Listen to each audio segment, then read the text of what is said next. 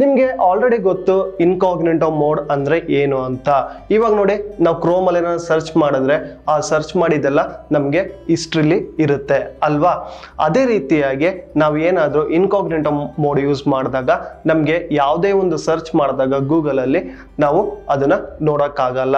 ಹಾಗೆ ಅದೇನು ಸರ್ಚ್ ಮಾಡಿರ್ತೀವೋ ಅದು ಯಾವುದೇ ರೀತಿಯಾಗೂ ಇನ್ಕಾಗ್ನೆಂಟೋ ಮೋಡಲ್ಲಿ ಸೇವ್ ಆಗಿರಲ್ಲ. ಏನಪ್ಪ ಇವತ್ತು ನಾನು ಇನ್ಕಾಗ್ನೆಂಟೋ ಮೋಡ್ ಬಗ್ಗೆ ಹೇಳ್ತಾ ಇದ್ದೀನಿ ಅಂದರೆ ನಿಮಗೆ ಗೊತ್ತೋ ಗೊತ್ತಿಲ್ವೋ, ಇವಾಗ ಗೂಗಲ್ ಮ್ಯಾಪಲ್ಲಿ ಒಂದು ಹೊಸ ಫೀಚರ್ ಬಿಟ್ಟಿದ್ದಾರೆ. ಅದು ಯಾವ ಫೀಚರ್ ಅಂತ ಅಂದರೆ ಗೂಗಲ್ ಮ್ಯಾಪ್ನ ಕೂಡ ನೀವು ಇವಾಗ ಇನ್ಕೋಗ್ನೆಟಮ್ ಮೋಡಲ್ಲಿ ಯೂಸ್ ಮಾಡ್ಬೋದು. ನಾನು ಮಂಜುನಾಥ್, ಕನ್ನಡ ಗಿಸ್ಬೋಟಿಂದ ನೀವು ಇನ್ನೂ ಏನಾದರೂ ನಮ್ಮ ಯೂಟ್ಯೂಬ್ ಚಾನಲ್ಗೆ ಸಬ್ಸ್ಕ್ರೈಬ್ ಆಗಿಲ್ಲ ಅಂದರೆ ಸಬ್ಸ್ಕ್ರೈಬ್ ಆಗಿ, ಹಾಗೆ ಸಬ್ಸ್ಕ್ರೈಬ್ ಬಟನ್ ಪಕ್ಕ ನಿಮಗೆ ಬೆಲ್ ಐಕನ್ ಇದೆ, ಅದನ್ನು ಕ್ಲಿಕ್ ಮಾಡಿ, ನಾವು ಹೊಸ ವಿಡಿಯೋ ಅಪ್ಲೋಡ್ ಮಾಡ್ತೀವಲ್ಲ, ನಿಮಗೆ ನೋಟಿಫಿಕೇಶನ್ ಕೂಡ ತೋರಿಸುತ್ತೆ.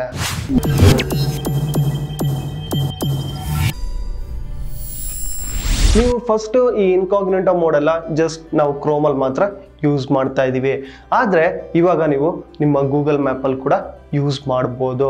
ಹಾಗೆ ನೀವೇನ ಸರ್ಚ್ ಮಾಡಿದ ಪ್ಲೇಸಸ್ ಎಲ್ಲ ಏನಾಗುತ್ತೆ ಅಂದರೆ ಗೂಗಲ್ ಮ್ಯಾಪಲ್ಲಿ ನಿಮಗೆ ಇವರ್ ಟೈಮ್ ಲೈನ್ ಅನ್ನೋ ಫೀಚರಲ್ಲಿ ಎಲ್ಲ ಹೋಗಿ ಸೇವ್ ಆಗಿರುತ್ತೆ. ಇಫ್ ಇನ್ ಕೇಸ್ ನೀವೇನ ಇವರ್ ಟೈಮ್ ಲೈನ್ ಕ್ಲಿಕ್ ಮಾಡಿದ್ರೆ ನಿಮಗೆ ಗೊತ್ತಾಗುತ್ತೆ ಯಾವ್ಯಾವ ಪ್ಲೇಸ್ಗೆ ಹೋಗಿದ್ದೀವಿ ಅಂತ ಎಲ್ಲ. ಹೌದಲ್ವಾ?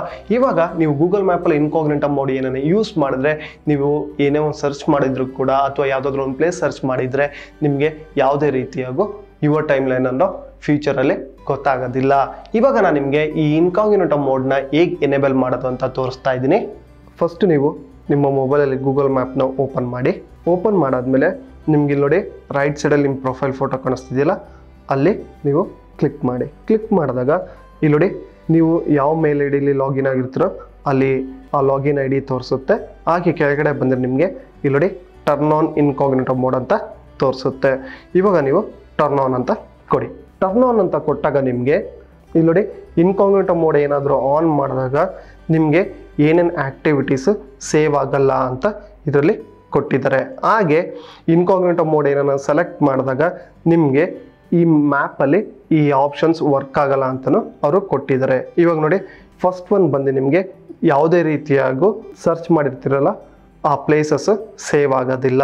ಅಥವಾ ಇಫ್ ಇನ್ ಕೇಸ್ ನೀವೇನ ಅಪ್ಡೇಟ್ ಮಾಡ್ತಿರೋ ಲೊಕೇಶನು ಅಥವಾ ಶೇರ್ ಮಾಡಿರ್ತಾರ ಲೊಕೇಶನು ಅದು ಕೂಡ ಇದರಲ್ಲಿ ಎನೇಬಲ್ ಮಾಡೋಕ್ಕಾಗಲ್ಲ. ಆಮೇಲೆ ಇಫ್ ಇನ್ ಕೇಸ್ ನಿಮ್ಮ ಪರ್ಸ್ನಲ್ ಮ್ಯಾಪ್ ಇರುತ್ತಲ್ಲ, ಅದನ್ನು ಕೂಡ ನೀವು ಇದರಲ್ಲಿ ಯೂಸ್ ಮಾಡೋಕ್ಕೆ ಆಗಲ್ಲ.